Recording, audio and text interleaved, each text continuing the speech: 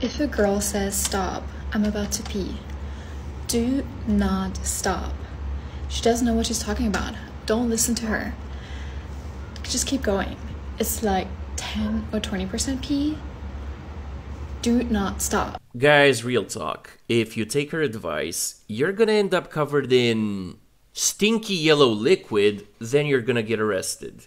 Seriously, if she says stop, it doesn't matter if she's role playing or not, because legally, if you keep going, it's forced copulation, and you've just ruined your life. Right to jail, right away. This boy asked me out on a date. No, he didn't. So let's see. He treats you as an option. He doesn't invest in you financially, his time. He doesn't give you attention. He don't chase you. He don't take initiative.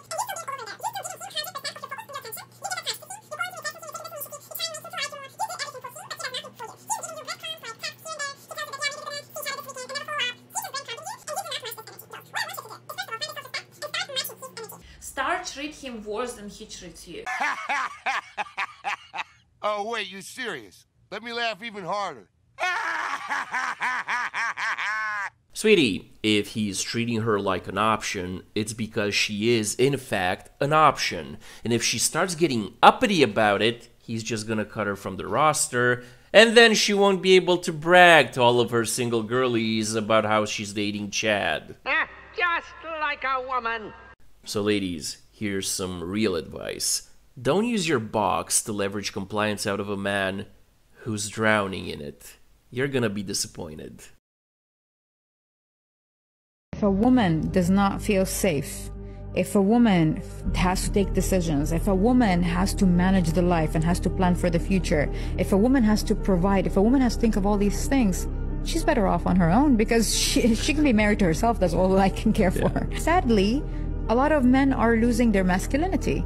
Crazy enough, like they think a man is okay as long as he's big, he's got his body going on, he's got his his looks and everything. They think that's what a man is. It's that's not what a man is. A man is a man who um, takes care, provides, uh, respects, uh, acknowledges, listens um, is there, is present. It may, gives you safety, and safety doesn't mean that if a dude wants to beat me up, you're gonna go beat him up. That's not safety, you know. Uh, uh sure, great if you can do that, but safety, as in like emotional safety, um, communication safety, being my, the, uh, giving me a safe space. Oh, shut up. Sweetie, the woman you're talking about sounds more like an incompetent little girl who can't handle doing adult things. Pathetic. Now, if you want to be shielded from making adult decisions while also pushing 40, you don't need a man.